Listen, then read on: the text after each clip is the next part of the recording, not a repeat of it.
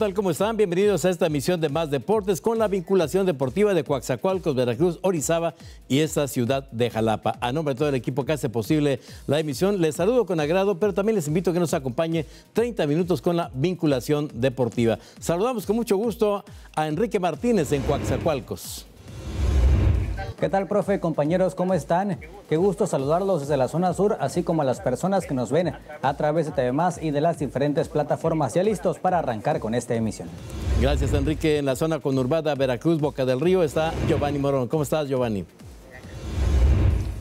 ¿Qué tal, profe? Gusto saludarlo, compañeros. Buenas eh, noches. Un gusto también estar con ustedes y disfrutar la información deportiva que hay a lo largo y ancho de la entidad veracruzana para nuestra población. Gracias, Giovanni. En la región de Orizaba, Antonio García. ¿Cómo estás, Antonio? ¿Qué tal, profesor? Compañeros, como siempre, un gusto y un placer saludarles. Bienvenidos a esta emisión y estamos listos para comentar acerca de la actividad deportiva que se genera en la zona centro del estado de Veracruz.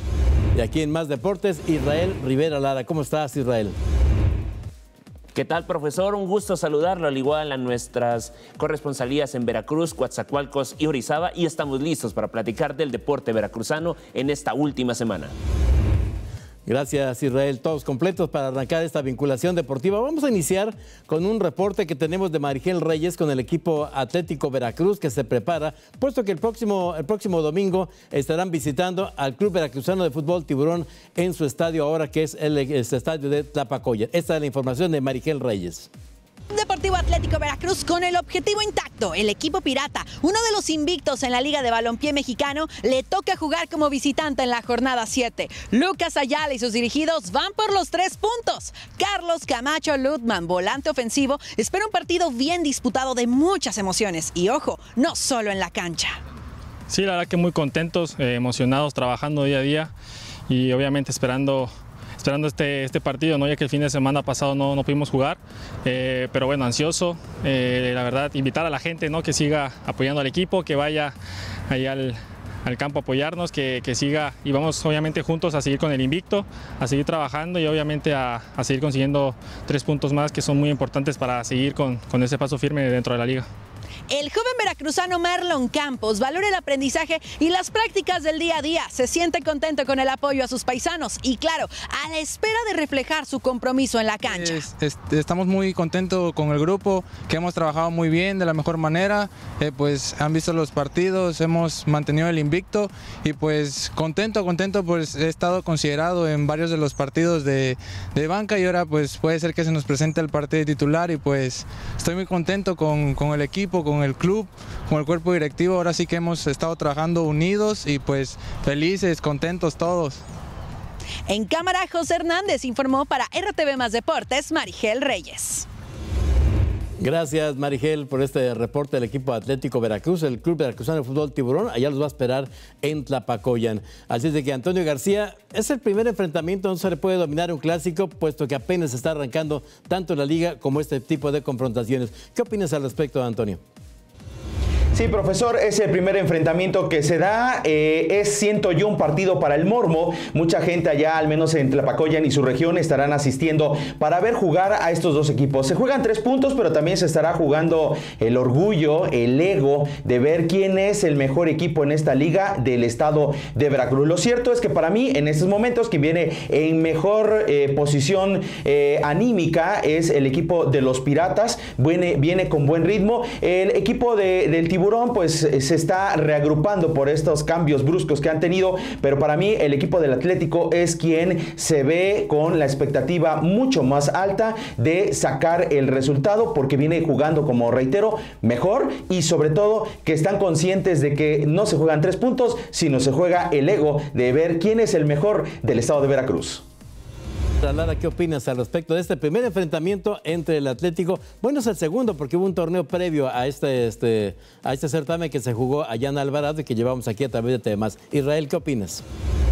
Así es, profesor. De hecho, es el segundo encuentro. Recordemos que en la pretemporada de la Liga de Balompié Mexicano, en el famoso torneo por ti, se enfrentaron y el triunfo se los llevaron los escualos por un autogol de los Piratas. Este enfrentamiento llegan con caras diferentes. Piratas buscará tener aún el invicto, seguirá buscando generar a la ofensiva y lo podemos ver, vaya que todo el conjunto y de la forma en que ataca a los Piratas, pues es una forma alegre. Se, ve se ven las ganas de siempre llevarse el marcador y el tiburón con bajas muy sensibles, como es el Chatón Enríquez y el Gulit Peña, parece ser que les estarán pesando, pese que el talento veracruzano es lo principal que deberá salir a relucir en este enfrentamiento, profesor.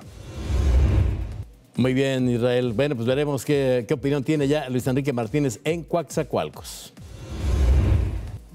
Bueno, profe, sí, será un partido interesante entre ambos conjuntos. Regresarán a la actividad después de que en la pasada jornada pues no tuvieron eh, fútbol por algunas situaciones. Eh, en primera parte, pues el tiburón eh, estará presentando un, grupo renovado de la mano de Daniel Bartolota y también por el otro lado estará pues los Piratas con Lucas Ayala, el tiburón, no le ha pasado nada bien en las últimas semanas por temas extracanchas. Vamos a ver cómo llega para este compromiso, pero bueno, los Piratas supongo saldrán con su mejor once para buscar la victoria que les permita estar escalando peldaños en la tabla general. Y Giovanni, Morón, aquí en la zona conurbada Veracruz, Baca del Río, ¿qué punto de vista tienes al respecto? Claro que sí, profe. Ahondando un poco más en lo que comenta mi compañero Enrique Martínez desde el sur del estado. Bueno, situaciones deportivas, el cambio de escenario de entrenamiento también le ha pegado, le ha impactado por ahí al equipo de los Piratas del Atlético Veracruz. Esta semana han eh, tomado las instalaciones de los Campos Berta, ubicados eh, en unas eh, de las salidas de la zona conurbada Veracruz Boca del Río. Ahí han estado entrenando habitualmente. Es una buena instalación, es un buen campo y bueno, adaptarse a otro tipo tipo de horarios y, situaciones extra cancha. También ha trascendido en las últimas horas, atención, que la propia directiva del equipo Piratas, apegada al reglamento, profesor, amigos, apegada al reglamento que rige la competencia y al espíritu deportivo de la Liga de Balompié Mexicano, estarían tratando de impugnar eh, el eh, resultado cual fuere allá en Tlapacoya, en Veracruz, porque trascendió también de manera extraoficial que el Club Veracruzano de Fútbol Tiburón había dado de baja días anteriores o semanas anteriores a 28 jugadores y va a renovar la plantilla con 28 jugadores en una eh, situación inédita e insólita en este nuevo circuito profesional del fútbol. Entonces estarían jugando bajo protesta, estarían impugnando el partido, todavía quedan algunas horas para la celebración del mismo y hay que esperar deportivamente. Creo que los números están ahí Piratas del Atlético Veracruz llega en mejor momento, un equipo que ha trabajado mejor dentro y fuera de la cancha, con un proyecto sólido y serio que representa la entidad veracruzana. Y en este momento el equipo de Club Veracruzano de Fútbol Tiburón se encuentra en la, buena posición por los puntos que le han acreditado, por los partidos que ha disputado y de los equipos que han salido, le suman los puntos al Club Veracruzano. Ya veremos qué ocurre el próximo fin de semana. Giovanni, platícanos de la taekwondoín Katia Santiago, que recientemente consiguió medalla de oro. Así es, profe, la taekwondoína veracruzana, integrante de la Academia de Taekwondo Kido Riviera Veracruzana. Bueno, Katia Santiago del Río, ella tuvo la oportunidad de, participar, de representar al deporte mexicano y ser embajadora del arte marcial veracruzano en un Open virtual online eh, desarrollado desde Dinamarca en una de las nuevas modalidades del PUMSE a nivel internacional en lo que se denominan las formas en contacto con la naturaleza, las formas desde un escenario de playa la arena y obviamente el mar, haciendo contacto con este deporte, con esta disciplina arte marcialista. La veracruzana obtuvo el primer lugar de su categoría en individual para menores de 30 años. Ella es un gran talento, una gran deportista, no tan solo del país, sino del estado. Y bueno, Katia Santiago del Río, hacíamos memoria hace unos minutos, en el mes de mayo del presente año, obtuvo la medalla de bronce en el Campeonato Nacional Online Virtual, eh, eh, celebrado bajo el aval de la Federación Mexicana de Taekwondo. Platicamos con esta excelente deportista veracruzana y esto nos compartió a más deportes. Me motivó mucho el participar en esta categoría de Pumps en playa porque es algo nuevo y emocionante. Honestamente sí tuvimos que trabajar mucho, especialmente por las condiciones climatológicas que pues no fueron las idóneas, pero gracias a Dios se dio un excelente resultado. Agradezco mucho el apoyo del profesor Yasser y de mi escuela Kido que siempre están impulsando el deporte y que nos permiten este tipo de fogueo internacional, aún en estos tiempos de pandemia. Excelente esta taekwondo veracruzana. Bueno, Enrique Martínez, ¿tienes información con respecto al premundial para béisbol categoría 9-10 años de edad? Así es, profe, como bien lo menciona en temas el rey de los deportes de su majestad, el béisbol, pues eh, la localidad de Minatitlán fue ratificada como sede del premundial de la categoría 9-10 años que convoca la Asociación de Ligas Infantiles y Juveniles de Béisbol de la República Mexicana. Esto se dio a conocer en el Congreso Nacional número 53 que realizó la organización de forma virtual por efectos de pandemia. En esta reunión se informó que, bueno, la Liga Pequeña de la Ciudad Petrolera estará albergando este torneo que tiene como punto principal el pase al Mundial de la División Pesada. Se pretende que se efectúe en el mes de abril, pero bueno, todo va a depender de cómo esté la situación en torno a la pandemia durante esas fechas. Platiqué con Norberto Cadena, quien es el presidente del circuito veracruzano, y esto fue lo que nos comentó. La Liga Pequeña de Minatitlán fue ratificada como sede del premundial categoría 9-10 años, convocado por la Asociación de Ligas Infantiles y Juveniles de Béisbol de la República Mexicana. Información que se dio a conocer en el Congreso Nacional número 53 que tuvo la organización hace algunos días. Noticia que entusiasma a Norberto Cadena, actual presidente del circuito veracruzano se confirmaron las sedes que otorgado este año. Sin embargo, en el Congreso que se llevó a cabo de forma virtual, se dirigió al nuevo presidente nacional de la asociación, por lo cual él comenta que las sedes que se habían designado este año se notificarían, se ratificarían, pero esto es de una forma tentativa, no está confirmado hasta pues no saber cuándo, cuándo acaba la pandemia y en base a eso pues poder planear, ¿no? Este próximo año las, las sedes de los nacionales. Sí, pues este año ya teníamos algo avanzado, habíamos estado preparando nuestro nacional que tiene pase a mundial, pero pues se vino, vino a echar todo abajo, ¿no? Nosotros estábamos muy entusiasmados de poder ser sede a nivel nacional de este evento. La fecha elegida para dicho torneo, que reunirá novenas de diferentes partes del país y tendrá en juego el pase al Mundial de la División Infantil Menor Pesada, es del 2 al 10 de abril del 2021. Nosotros teníamos confirmado a la fecha antes de, suspender o de, entrar en, el problema de la pandemia, teníamos notificado o ratificado 19 equipos a nivel nacional, más algunos otros que se sumarían en su momento, sin embargo, este, pues eso ya quedó en el pasado. ¿no? Tendremos que volver a plantear, a planear la nueva estrategia para poder llevar a cabo este evento, que realmente pues hay que tocar puertas porque es un evento de gran importancia. Destacar que este campeonato no se pudo realizar en el 2020 por la contingencia sanitaria. Enrique Martínez, RTV, Más Deportes. El circuito veracruzano de básquetbol en nuestra entidad, el semiprofesional, está a punto de arrancar una nueva temporada. El equipo Chayoteros de Orizaba se prepara. Antonio García, ¿tienes información al respecto? Es correcto, profesor. El equipo de Chayoteros de Orizaba estará iniciando ya sus tryout para eh, reclutar a jóvenes que puedan ser parte de este equipo. Platiqué con Arturo Villarreal a la vez, quien es el coordinador administrativo, que bueno, ha platicado con Alejandro Pimentel, el entrenador. Todo está prácticamente listo para que puedan tener participación el equipo de la ciudad de Orizaba. Solo se está a la espera de que se haga el anuncio oficial de cuándo se estará iniciando. Tentativamente se planea que pueda ser el próximo 20 de diciembre, aunque bueno, en algunas regiones del estado de Veracruz todavía no se puede realizar por completo la actividad deportiva. Un ejemplo, en Orizaba no se juega todavía básquetbol, solamente el deporte que se ha permitido jugar es el fútbol. Entonces se está a la espera, son días cruciales que tienen que pasar para que se pueda definir si se arranca el 20 de diciembre o no. El auditorio Humberto Gutiérrez Zamora será la sede del equipo de Chayoteros. Se habla de refuerzos extranjeros que solamente se conoce a un jugador conocido como el Momi, pero eh, se está analizando quién más podría llegar. A continuación le presentamos esta información que tenemos para ustedes.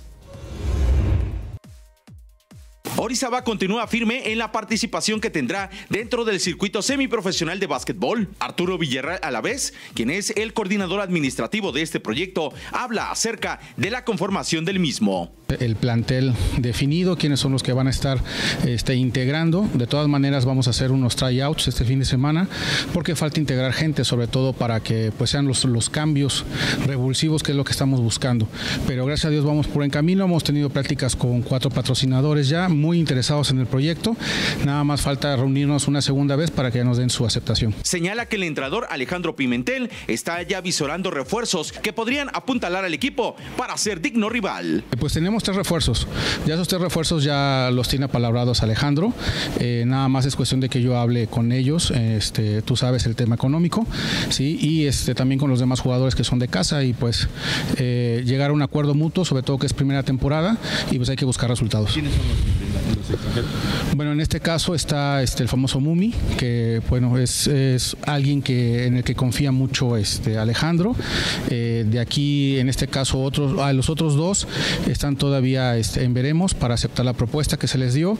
Y pues aquí locales, pues está Iván Hernández, está lo que es Cusberto Cerón. Será en próximos días cuando ya se pueda anunciar de forma oficial la conformación de los Chayoteros de Orizaba en este circuito semiprofesional de básquetbol. Antonio García, RTV, más deportes.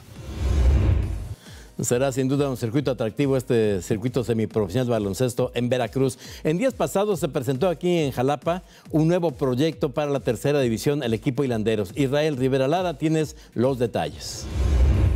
Así es, profesor, se presentó en conferencia de prensa un nuevo proyecto para la tercera división profesional de nuestro país. ¿Cuál es el motivo? Que regrese el fútbol profesional a la capital haciendo remembranza, haciendo memoria de todos estos equipos que ya han participado. El principal objetivo que tienen los hilanderos es apoyar a todo el talento local para que lleguen a su sueño de convertirse en futbolistas profesionales. Vayamos a ver más información sobre los hilanderos de Jalapa. Se presentó en conferencia de prensa el proyecto de fútbol de tercera división Hilanderos de Jalapa. Dentro de la estructura de esta organización está la idea de apoyar al talento local, comentó su presidente Mateo Flores. ¿Qué tenemos que hacer para los jóvenes? Motivarlos, que tengan ganas de, ganas de triunfar, que tengan ganas de superarse y ese es nuestro fundamental, entrar, entrar a apoyarlos a los jóvenes. El dirigente comentó sobre la tentativa fecha de inicio y detalles del renglón deportivo en cuanto a la dirección técnica del plantel. Este, estamos en un proyecto del 15 de enero, ya poder dar el primer paso con los entrenamientos. Y ya teniendo al entrenador, que tenemos varios en, cartera, pero también queremos que alguien que se comprometa, que no nomás es que digan ya queremos dirigir, también tenemos tiene que tener el compromiso de realzar la juventud jalapeña. Con una inspiración basada en equipos de mucho arraigo en Jalapa como Búhos Estudiantes de Jalapa, el Inter o el conjunto del Dique, Hilanderos nace con ese ADN de garra y entrega en el terreno de juego. Reportó para Más Deportes, Magno López. Luis Enrique, platícanos qué está ocurriendo con el Centro de Formación de Fútbol de León, que está ya, según sabemos, preparándose para futuras competencias. Sí, profe, como bien lo menciona, el Centro de Formación de Fútbol León Coatzacoalcos, pues ahora destacó en la Copa Nacional León celebrada en el León, Guanajuato en este 2020. Por ahora, el equipo de la categoría 2001 de la sucursal veracruzana pues tuvo paso perfecto al mantener el invicto hasta la fase de semifinales de ronda donde cayó por marcador de dos goles a cero ante Furia Verde, lo que le permitió, por supuesto, colocarse dentro de los cuatro mejores de la competencia celebrada en este año. Conversé con Benjamín Hernández, quien es el coordinador de la franquicia del Club León ubicada en la zona sur de la entidad, y esto fue lo que nos dijo. El Centro de Formación de Fútbol León Coatzacoalcos sobresalió en la Copa Nacional León 2020, celebrada en la Unidad Deportiva Parque del Árbol de León, Guanajuato. La filial del Club León registró una notable actuación en el certamen al llegar con paso invicto hasta la ronda de semifinales, donde cayó por marcador de 2-0 ante Furia Verde, de esta forma colocándose el equipo de la categoría 2001 dentro del top 4 de la edición. Pues mira, a pesar de la situación que se vive a nivel nacional, fue una copa muy satisfactoria para nosotros, a pesar de que fuimos limitados con los jóvenes, ya que muchos papás, pues, por el miedo, la incertidumbre que se vive, pues no pudimos ir de manera como nos hubiese gustado. Pero el plantel que llevamos, los jóvenes que fueron, ya iban bien preparados y tuvimos pues una buena participación y sobre todo venimos muy contentos porque tenemos varios llamados por ahí. Benjamín Hernández, coordinador del CEFOR, se manifestó satisfecho con el resultado conseguido en la competencia, aunque reconoció que regresaron con un sabor agridulce, ya que querían obtener el título. Desafortunadamente, pues el cansancio de piernas y las temperaturas y todo que nos tocó vivir, porque estábamos a 5 grados y 7 grados cuando estuvimos jugando, eh, nos costó un poquito, pero sí nos quedamos con esa sensación de poder haber llegado a la final. Cabe resaltar que este evento contó con 70 oncenas entre locales y foráneas. Enrique Martínez, RTV, Más Deportes. Y Giovanni Morón, ya en la zona con Normanda, Veracruz, Boca del Río, nos platica de Litsi Vázquez, esta boxeadora veracruzana. ¿Qué actividades se está proyectando para este fin de año, Giovanni? Así es, profe. Bueno, en lo deportivo ya se ha mantenido, pese a la contingencia sanitaria y la pandemia ya de conocimiento general. La boxeadora eh, desea trascender hacia el territorio profesional el próximo año, en 2021. Por lo pronto, en lo personal, ha iniciado una campaña, una campaña de labor social de manera altruista para festejar a niños y niñas veracruzanos en la zona metropolitana, Veracruz, Boca del Río, Medellín y, por supuesto, que la comunidad participe donando juguetes en buen estado o juguetes nuevos para poderle entregar y llevar eh, sonrisas y alegría a los niños en el próximo día conmemorativo de Reyes Magos, el 6 de enero del 2021. Tenemos los detalles con la propia campeona veracruzana. Ella nos comparte. La pugilista veracruzana y medallista nacional de boxeo, Litsi Vázquez, ha iniciado una campaña para recibir en donación juguetes, los cuales serán entregados el próximo 6 de enero del 2021 a niños y niñas que viven en zonas vulnerables de esta ciudad.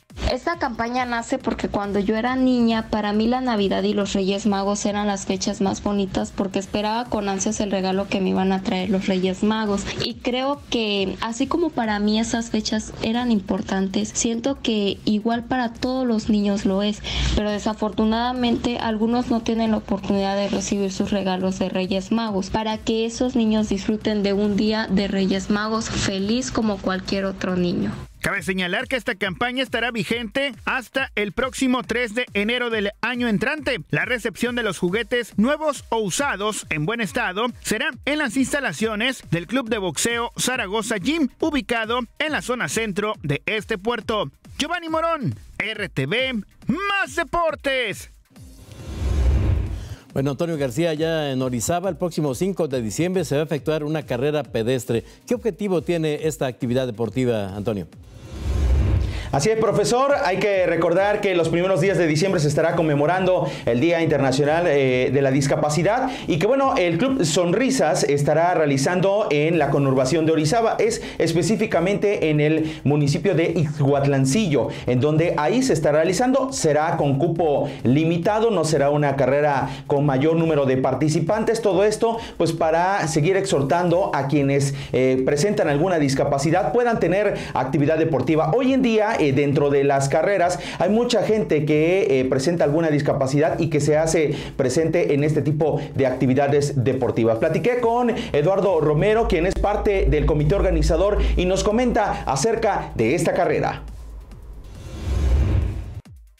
El equipo Sonrisas estará realizando en próximos días una carrera por la inclusión conmemorando el Día de la Discapacidad. Esto será en el municipio de Ixhuatlancillo. Así lo dio a conocer uno de los organizadores, Eduardo Romero. Esta carrera eh, es llamada por la inclusión Yo Corro y es conmemorando este, el Día Internacional de la Discapacidad. Efectivamente se va a llevar a cabo en el municipio de Ixhuatlancillo, Veracruz. ¿Qué día y a qué hora? Es el próximo domingo 6 de diciembre a partir de las 8 de la mañana. Sofía Hernández, integrante de este club, también hizo la invitación a todos a participar en donde será con cupo limitado. No va a haber categorías y serían 30 corredores con número que su cuota de inscripción sería un kilo de ayuda inscribiéndose en la página. Después se le van a dar más informes y los otros 20 serían las personas con discapacidad, que ellos no tienen que ser nada porque son los festejados. Esta carrera, que será de 6 kilómetros, podrán inscribirse solamente pocas personas a través de la página de Facebook Corriendo por Sonrisas. Antonio García, RTV, Más Deportes. Gracias, Antonio. Esperemos que sea todo un éxito esta carrera allá en la región de Orizaba. Israel Rivera Lara, nos vamos. Que tengas eh, buen fin de semana. Un gusto poder platicar con ustedes, profesor, y aquí estaremos la siguiente semana para platicar de más deportes. Gracias, Israel. Antonio García, hasta pronto. Como siempre, un placer, profesor, estar con usted y mis compañeros e invitarles para que siempre estén pendientes de toda la información que generamos a través de TV Más, Más Deportes. Gracias, Antonio García. Giovanni Morón en la zona conurbada Veracruz, Boca del Río. Hasta pronto, Giovanni. Hasta pronto, profe. Gusto saludarlo a usted y a los compañeros, por supuesto. Gracias, Giovanni. Enrique Martínez, gracias. Hasta pronto, Enrique. Hasta luego, profe. Fuerte abrazo a todos. Y gracias a ustedes por acompañarnos en esta emisión de Más Deportes con la vinculación deportiva de Coaxacualcos, Veracruz, Orizaba y esta ciudad de Jalapa. Su servidor Ariel Ortiz le dice gracias. Hasta pronto.